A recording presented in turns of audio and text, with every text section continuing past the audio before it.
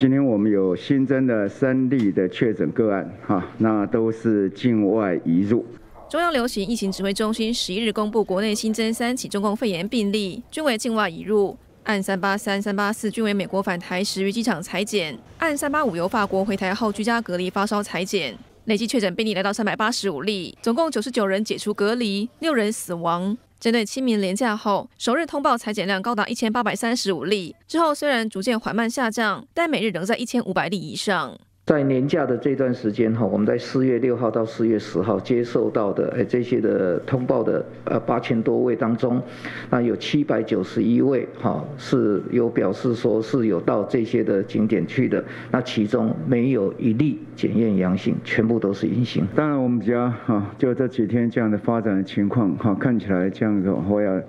急剧的变化可能性不高，但是我们仍然提高警觉。除了清明廉假去过十一个警示景点的人有出现症状，可由医师判断是否裁剪之外，专家小组召集人张尚淳针对扩大社区筛检的部分再次表示。扩大社区筛检不是只针对这个景点的有去过景点的部分的人员做的民众做筛检，而是我们给一个定义，就是不符合通报定义的这些，不管是他是呃肺任何的肺炎的状况，我们都可以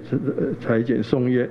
那他有嗅味觉的状况，没有旅游史也没关系，那也可以裁剪送验。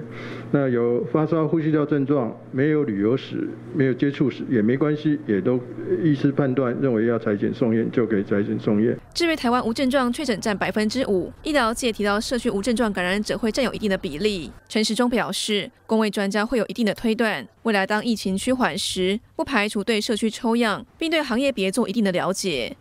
但目前指挥中心我们所重视的是对整个疫情会产生影响的个案，那积极去围堵，好让这样的疫情不要扩大。那至于未来，哈，在更进一步疫情更稳定的时候，也不排除哈对整个的社区或做抽样或做特定行业的，好再做一个相关的一个厘清跟了解。好，不过这会在比较后面的阶段才会开始来进行这相关的动作。指挥中心发言人庄仁祥表示，抽样主要是研究检测社区内的民众是否具有抗体。在两千零九年流感大流行后的一年，台湾也做过类似的抽样研究。新唐电视台北综合报道。